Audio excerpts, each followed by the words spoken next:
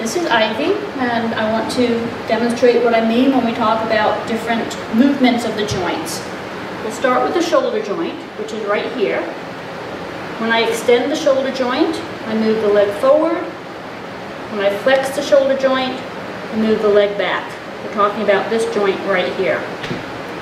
So extension, flexion. This is the elbow joint.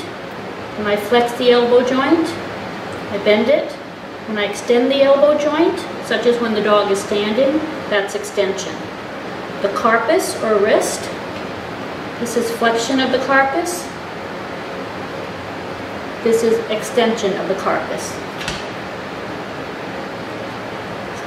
So when the dog is standing, the shoulder joint is in a little bit of flexion, the elbow joint is mostly extended, and the carpus joint is mostly extended. So when we go to the back leg, we have the hip, the stifle, and the hock. If I want to extend the hip, I move it backwards. If I want to flex the hip, I move it forwards. So the hip is flexed like this. This is the stifle joint or the knee joint. If I want to flex it, I bend it like that.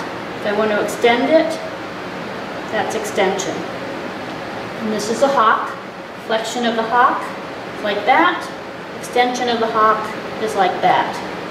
So when the dog is standing, the hip is slightly flexed, the stifle is slightly flexed, and the hock is slightly flexed.